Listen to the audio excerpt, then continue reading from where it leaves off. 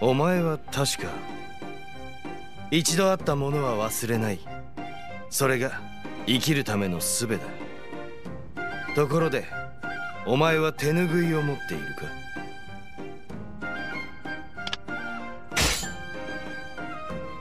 愚問だったが手ぬぐいの形態は武士であれば当然のたしなみだ。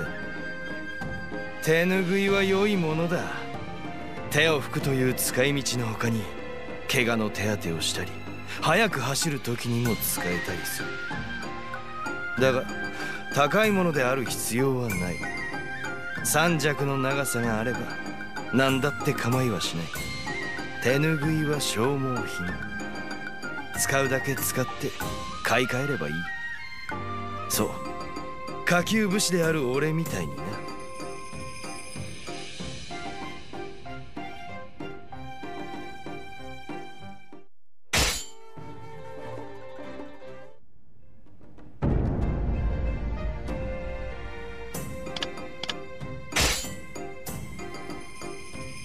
何？